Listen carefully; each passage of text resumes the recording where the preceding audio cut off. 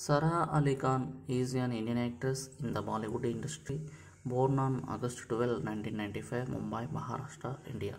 She is the daughter of popular Bollywood actress Saif Ali Khan and Amrita Singh, and her stepmother is Kareena Kapoor.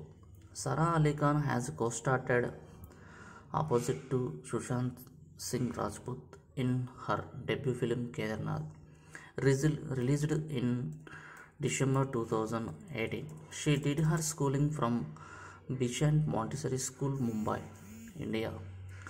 She completed her graduation in History and Political Sciences in 2016 from Columbia University, New York.